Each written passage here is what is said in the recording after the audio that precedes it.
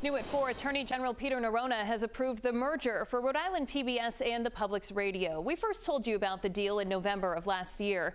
The review of the proposal is complete, and now the companies can move forward with the deal. The AG's office says the merger is likely to be beneficial to the community.